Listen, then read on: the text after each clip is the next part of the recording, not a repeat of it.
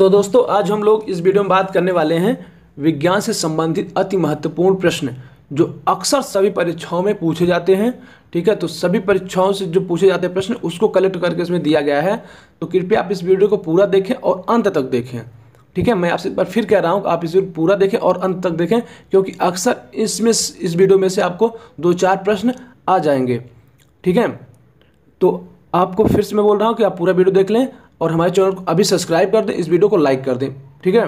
तो शुरू करते हैं वीडियो हम लोग। लाल बटन को दबाएँ और सब्सक्राइब करें। हमारे इस YouTube चैनल को और इस बगल वाली घंटी को बजा दीजिए और हमारे चैनल से आप जुड़े रहिए और पहला प्रश्न है मांसपेशियों में किस अम्ल के एकत्रित होने से थकावट आती है?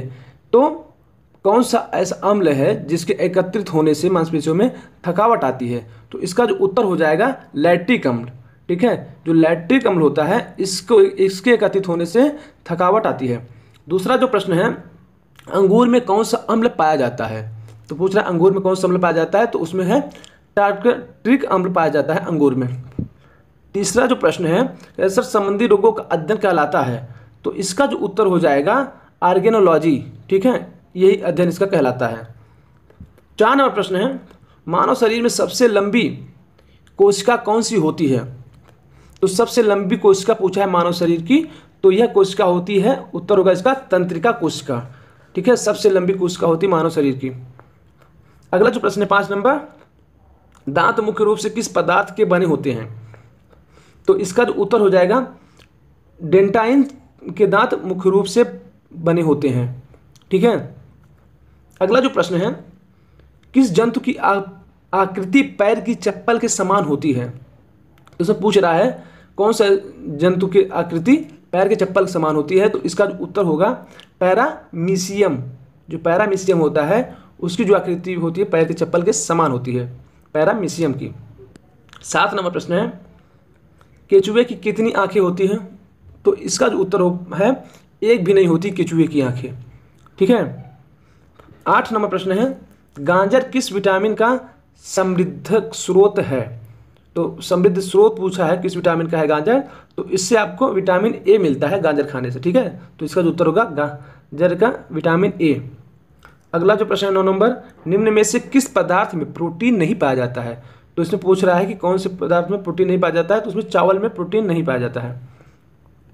अगला जो प्रश्न है मानव का मस्तिष्क लगभग कितने ग्राम का होता है? तो इसका जो उत्तर हो, होगा 1350 ग्राम का मानव का मस्तिष्क होता है ठीक है? ग्यारह प्रश्न है, रक्त में पाई जाने वाली धातु है। तो रक्त में पाई जाने वाली धातु पूछ रहा है तो इसका जो उत्तर होगा, रक्त में पाई जाने वाली जो धातु है, वो है लोहा। इसका जो उत्तर हो जाएगा लोहा। अगला जो प्रश्न है, किंडवन का उदाहरण है। तो किंडवन का उदाहरण पूछ रहा है। तो किंडवन जो उदाहरण है, उसका उत्तर देख लीजिए आप।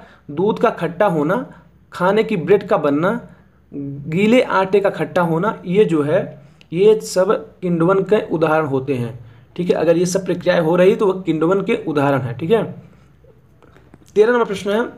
निम्न में से कौन सा आहार मानव शरीर में नए उत्तकों की वृद्धि के लिए पोषक तत्व प्रदान करता है? ठीक है तो इसमें मांगा है ये उत्तर की।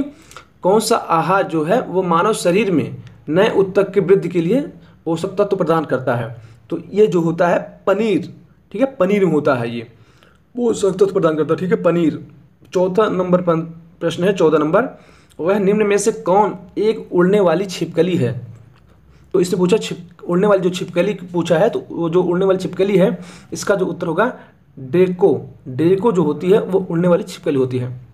अगला जो प्रश्न है, पंद्रह नंबर। घोसला बनाने वाला एकमात्र सांप कौन सा है? जो घोसला बनाता है, उस सांप के बारे में पूछा गया है तो आपको पता भी होगा कि अक्सर पूछ लिया जाता है कि ये कौन सा सांप है जो घोसला बनाता है तो वह है किंग कोबरा। ठीक है तो इसका जो उत्तर हो जाएगा किंग कोबरा, जो घोसला बनाता है। सोलह नंबर प्रश्न है, भारत में पाई जाने वाली सबसे बड़ी मछली कौन सी है? तो इसका जो उत्तर होगा वेल सार्क, जो वेल सार्क होती है, वो भारत में पाई जाने वाली सबसे बड़ी मछली होती है।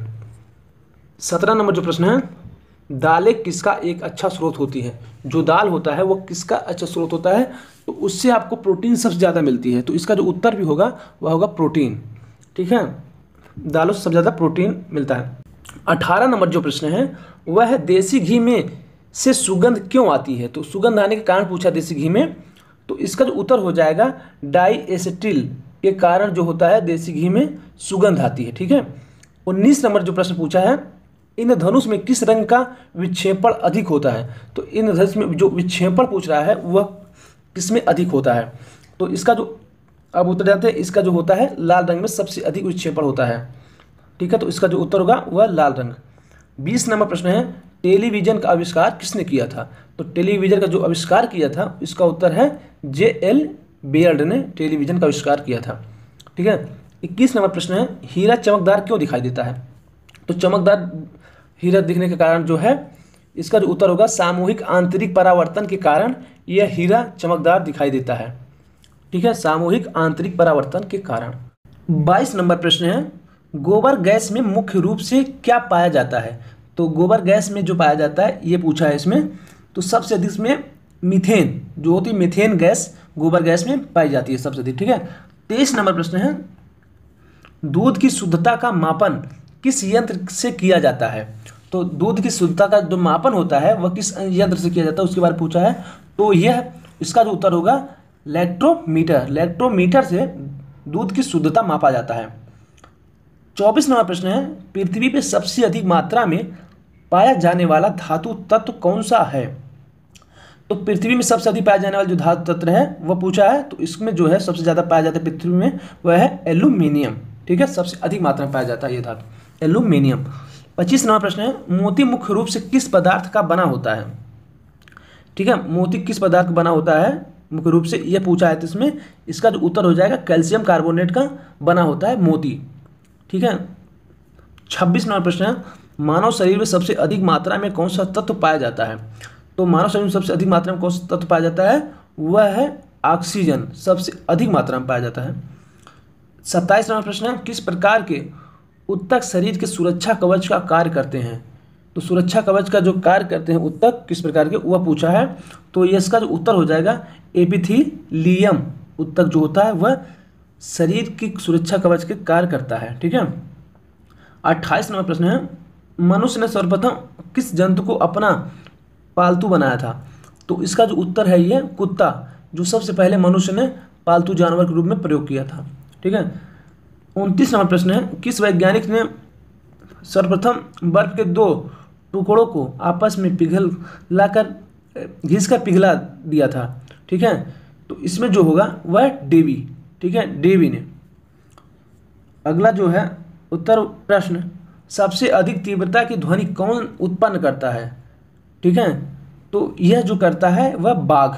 सबसे अधिक तीव्रता की ध्वनि उत्पन्न करता है बाघ।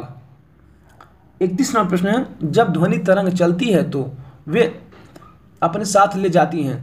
तो क्या ले जाती हैं? ये पूछा है, जब ध्वनि तरंग चलती है तो यह ऊर्जा अपने साथ ले जाती है, ध्वनि तरंग।